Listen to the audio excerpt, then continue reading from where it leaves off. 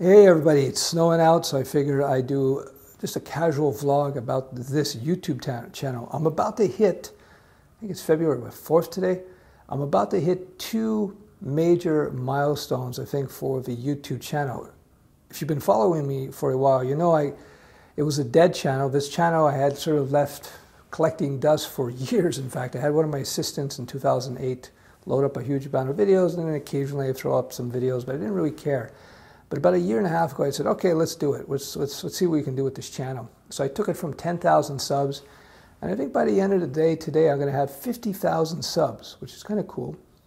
And uh, another milestone is one of my videos, a video I did two and a half months ago on C++, and it has, it's, it's just about 400,000 views, just as that video. So, you know, compared to PewDiePie or whatever, the other big names out there, it ain't much. But for a tech video, it's pretty good for two and a half months, and it's still going strong. So, goes to show where you put your effort is where you're going to find yourself. So, I did the YouTube thing just as a hobby to practice speaking, get a little bit of the word out. But I have to tell you, I enjoy it. And what I try to do with this channel is bring to it what you don't see elsewhere. My goal is to basically teach what I've learned over the last 20 odd years as a developer and 28 years as a business uh, entrepreneur, business owner, entrepreneur.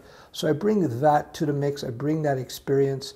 That's why I have my foundation training and all that kind of stuff, which will teach you how to be a full stack web designer, web developer at a professional level. But why? People ask me, why don't I do this package here? Why don't I do this new library here? A tutorial on this or tutorial on that? Well, because I don't need to. What was needed in the marketplace was something that taught the foundation and the core properly, number one.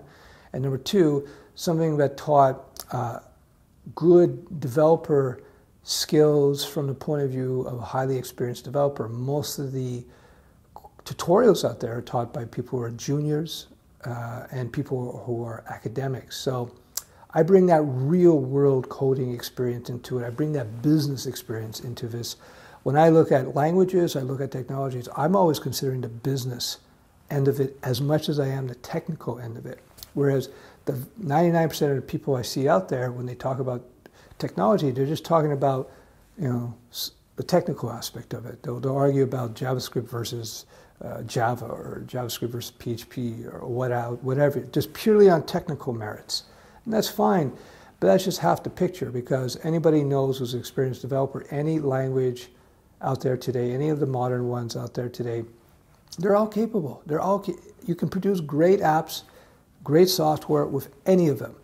It just depends on what type of work you want to do. You're not going to use C++ to create web apps. That would be silly, even though C++ is a very powerful, capable language. No, you would use PHP, you would use Java, you would use C Sharp with ASP.NET, you would use Ruby with Rails maybe, you would use Python with Django, but you wouldn't use C++ to do that. You get the idea.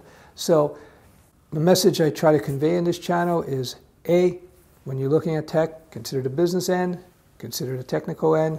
B, try not to be a language or technology zealot, be flexible. And I'm trying to teach real world experience that only 20 odd years of experience can teach you. So, yeah, you could take 20 years to learn this stuff on your own, or you can watch my vlogs and gained and benefit from my experience going back to the 90s. Anyway, milestone day today, nearly 50,000 subs and a single video that's just shy of 400,000 views. Not bad.